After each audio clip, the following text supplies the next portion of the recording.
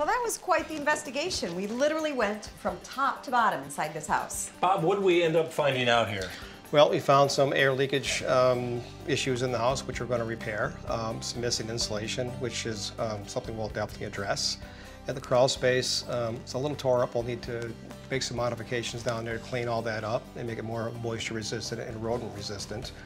Uh, the water heater we checked for backdrafting, um, worst case, and it did pass. So that's that's fine. Every audit that we do, we always check the furnace and the water heater for backdrafting. So, in this situation, what are some things that the homeowners can do um, to save energy? Great question. Uh, lots of things you can do around the house.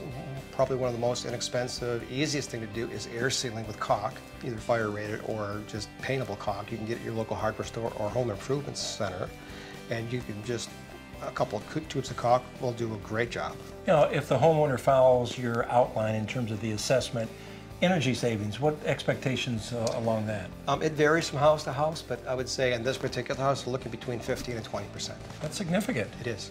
Now, houses settle over time, so is this something um, that should be done every year? I would say no, uh, depending on the age of the house. If this house has been here for some time, so I would say no.